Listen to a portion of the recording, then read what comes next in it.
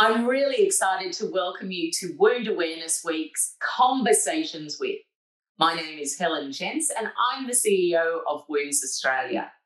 With me for the conversation today is Hayley Ryan, Chair of Wounds Australia and Wound Care Clinician and Expert, Sarah Chapman, Clinical Product Specialist with our Wound Awareness Week partner, Sentry Medical, and one of our amazing Wound Awareness Week champions, Lyn Prior, to talk about her experience of living with a chronic wound. Welcome, everyone. Hayley, I'm going to kick off with you.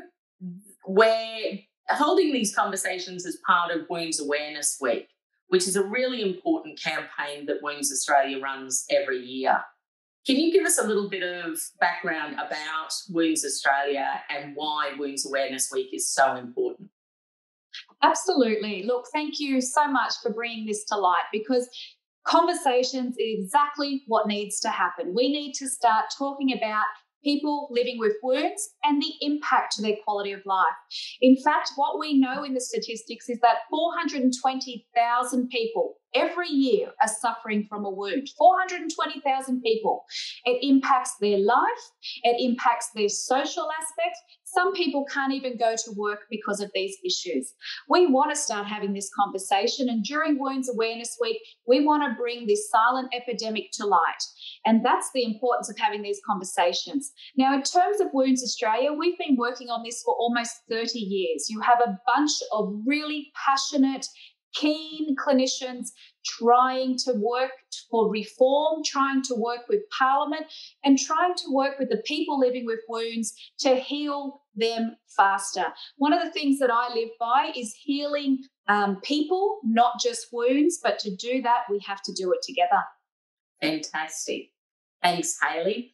Now, Sarah, just give us a little bit of an introduction about the work that you do with Sentry Medical and your background with wounds. Okay, no worries. Um, so I'm Sarah. I'm from Sentry Medical. We're a um, medical consumable company with a big focus on wound care. Um, I have been a registered nurse for 10 years and four years ago started with Sentry Medical as our clinical product specialist. A big part of my role is to support both our sales team um, and our consumers and customers in the appropriate use of our products um, and making sure that the products are getting out to um, the right the right people um, and being used in the right way so that we can get better results out of the products that we're using. Fantastic. And Lyn, mm. I would argue the most important person in this conversation. can you tell us a little bit? Can you take us through your wound journey? Oh, well, it um, started in November 2020 and um, I was um, had, went to the medical centre and got it dressed, and then I had to go back the next day again, and that's when they wanted to put me in hospital. Um, and then the head nurse got talking and discussing, and they found out that there was a new wound specialist. So they rang him, and um, he said, no, she doesn't need to go to hospital or come up and see her next week. And well, I don't like hospitals, so that was the best news I'd ever heard. And um, yeah, and that's how it started. Yeah. How long from the point in time where you, you saw it and you thought, oh, this doesn't look too good, to when you actually went to the GPs to get them to look at it? I probably dressed it for a couple of weeks myself before I went to the GP. Yeah, and, because I could pro- see it. And it progressively got worse? Yes, yeah. Okay. Yeah. And so your so in terms of you had this uh, wound on your leg, you were treating it, it was getting worse. So you headed to your GP, and as you rightfully said, you know, that their first uh, response was, "Oh, well, you'll have to head to hospital," and and as you highlighted, not something you're really keen on doing, obviously, because of the impacts on on you. And as we said, no one likes hospitals. So, how quickly were you able to see the the wound care specialist? Um, well, that was the Friday, and um, then I think he was. I can't remember whether it was the Tuesday or the Wednesday of the next week that he came to my house, and was just so confident that um, you know we'd be able to heal it, and and yeah, it just made me feel so much better. Excellent. Yeah. Have you had any setbacks in in your healing journey? Um, well, it was nearly healed um, August last year, and um, then it just broke out again, and probably got worse than it was um, at the very start, and um, yeah, just just for no reason, it just broke out. Yeah. Hayley, why? How does that with with wounds? Why does that happen? What, what why do you get to a point? And and I'm sure Lyn and and her wound care specialists were really excited that it was getting almost to to a healed point, and then it comes back even worse. How does that happen? Yeah, look, there's there's a there's a heap of factors to answer that question. Is it medications? Is it other comorbidities that the person may have? Is it the fact that Lyn, like Lyn, was always on her feet, which would be impacting, um, you know, the shift in fluid that comes with a vascular wound. There's lots of different reasons. They do get stuck sometimes in what we call um, the inflammation phase of healing, which is when we start to say we're looking at a chronic wound. But looking at the person holistic is crucial. So, you know, what other factors do you need to think about when, when you're dealing with not just the wound, but the person living with that wound?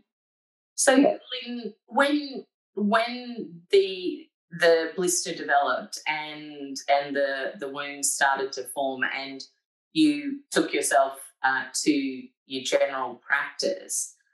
Uh, previously, you said you dressed the wound yourself, so you just used something that you had at, on hand and dressed it. Yes, yeah.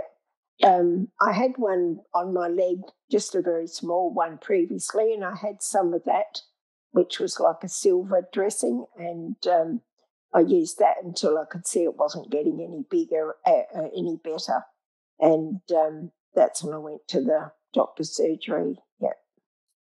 And when you went to the the surgery, um, how did you feel they were able to to help you? You you mentioned they they suggested you you probably needed to go to hospital, yeah, uh, which is one of the big problems, uh, I think, currently in our health system is that in, within a primary healthcare setting, there isn't that, that knowledge uh, and expertise around wound diagnosis and developing a treatment plan. But you were really lucky because they put you onto a, a wound clinician.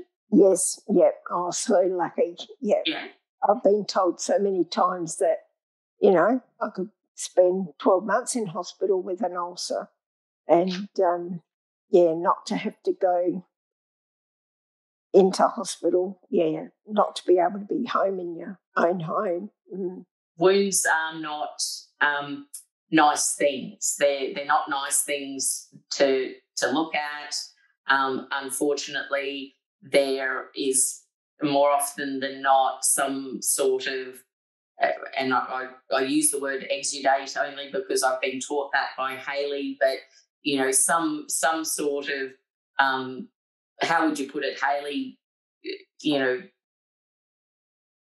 So you, you might have some um, symptoms of heat or itchiness, redness, can be a bit uncomfortable, Lyn. Would these some of the things that you might describe with how you're feeling from the actual cellulitis itself? Like, how does it make you feel?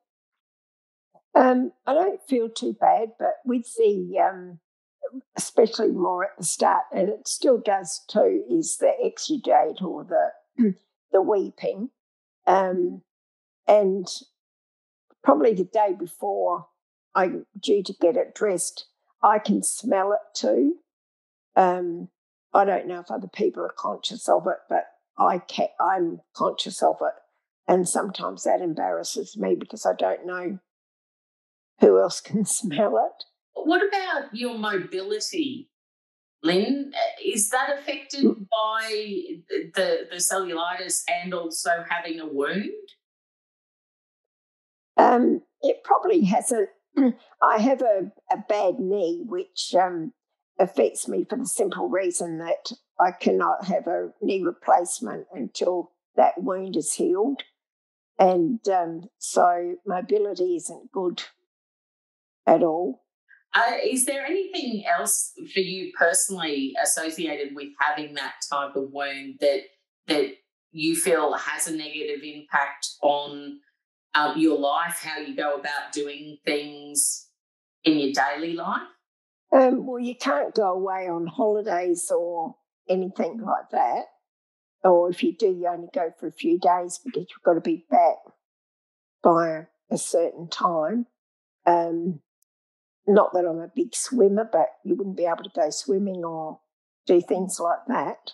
When the, the wound first appeared, how big was it? No, it was really like a blister that um, open started. It would have been perhaps the size of a 20 cent piece. Okay. And um, yeah, but just got bigger. Yeah. And so as it got bigger, how how big did it actually get to, Lyn, in terms of Um, on your leg? Well, um, after it re uh, sort of came back last um, August, um, it was virtually around my whole leg. Yeah. So obviously, Sarah, that then did that then require a reconsideration of of the treatment, given that a wound might start out as a 20 cent piece and now it's around the entire leg? Absolutely. I think as wounds um, either worsen or improve, you should always be considering what you're using. Um, and if you're using something, a particular product for, for two years and Yeah. it's not um, improving, then you definitely need to reconsider.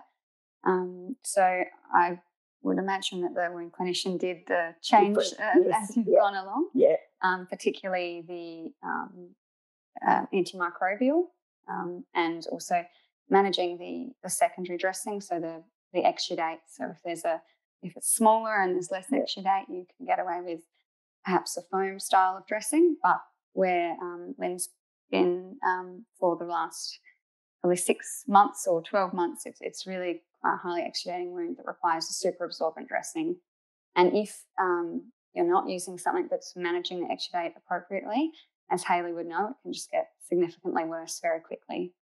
Definitely need to, to balance that kind of moisture level. And and Sarah, so from Sentry's perspective, how as, a, a company who are, are providing those sorts of consumables, those treatments, how do you ensure that people have an understanding of the right treatment? Is is that where the, the wound care specialist is essential here because it's their knowledge? Um, it's it's absolutely that we need to, as um, territory managers, most of us have nursing backgrounds, and it's really um, imperative for us to connect with all of the wound care specialists in our territory, um, so that as the people who are managing or overseeing a lot of these wounds, um, that they know what's available to them, what products are available to them, and that they can get their hands on the right thing. So, from from a company perspective, it's really about making sure that we reach out to all of the people, all the right um, wound specialists. And we also um, put a lot of focus on education. So, running um, uh, workshops and um, creating different educational resources for uh, whether that be a clinician or, or a patient to be able to access. Hayley, on that front, the, there's such a push for for patients and consumers to be empowered in terms of their their treatment, but within the you know wound treatment, it seems like consumers have very little knowledge and and understanding of what is the right treatment and what does that treatment do for me or how how important is it for me to take this medication because this will help my wound to heal. And i'm not even going to get into perhaps the lifestyle factors that may influence better wound healing but how how important is it for consumers to have that knowledge Look, it's very important. If you think about yourself, you're walking home after work, you trip over something, you graze your knee. What's the first thing we do? We usually all will go and wash it down with some water and then we'll put a band aid on it. And that's what we'll continue to do, hoping that it will heal. But what we often see is that those that have other reasons that make that wound become a worse wound we don't often see anybody going and saying, okay, it's time to go and get checked. It's time to go and seek out a specialist. The knowledge gap is around seeking out expert opinion in terms of wound specialists. So you might be lucky that the patient will go down and see the GP and the GP will do some treatment. But again, how can we engage sooner with referral pathways to get those specialists involved who are dealing with this every day? There's a gap there, I would say. One of the things, but I would say too, with a wound is that Lyn has explained very well how impactful the wound is to her life. But there's also a human element here. And, and Lyn, I want to ask you about what supports do you have at home? Because when somebody's living with a wound, it's not just them who's living with it, it impacts the entire family. And I see this a lot with my patients. So, Lyn, what support structures do you have at home? Who's there to help you? Or do you not have people there to help you? Um, well, I do have a husband, but we lease a property down the southeast, and um, which is a sheep property. And um, he's been away since May because the ewes have been lambing, and he needs to be down there um, to, you know, keep an eye on them and and to watch them. So um, my family are very good. My grandsons, I said they take out my wheelie bins and stuff like that. My son um, cuts wood. My son's and cuts wood and brings into the um, home or into the house here for me.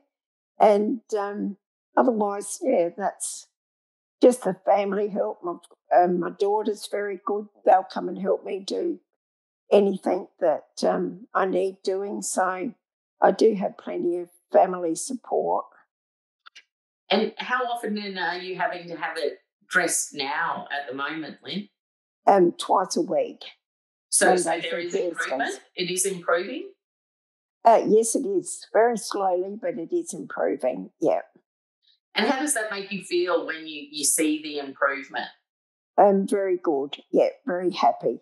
Um, no, it does if the nurses and the wound specialist is happy with it, I'm happy with it. Um, you know, you don't mind how much longer it's going to take as if you can see an improvement. Just that little improvement every day, every yeah time it gets dressed means a lot. I'm all right now because I'm in the hands of the the professionals. And and that's really, I think, that's really an important part of your entire story, Lyn. And and uh, I I know it's awful that you you've been living with this wound and you're going through this, but Hayley Lyn's one of the lucky ones, isn't she? That she did get access so quickly to to a, a clinician who had that specialist knowledge because not a lot of people get that, do they? No, they don't. Um, and quite often we will see exactly where Lyn was heading, which was over to hospital. We will often see admissions to hospital for wound care when it could actually be treated within the person's own home. Um, again, you know, late referrals can actually mean that we will have delays in wound healing or we can actually see some um, other effects from not managing the wounds quick enough. So I think Lyn was very lucky. And I guess my question is to Lyn, what was the best thing about um, the, the healthcare you received from the wound specialist? Oh, it's just fantastic. I could not complain about one nurse or the wound specialist, and I'm just feel so confident. Yeah, and it just makes me so happy, and that's why I'm doing this now because if I can help some people, you know, I'm not a um, public speaker or anything, but if I can help and get the word out there um, and help other people, um, that's all because I'm just so thankful that everybody's helped me. Lena, I have a, another question for you.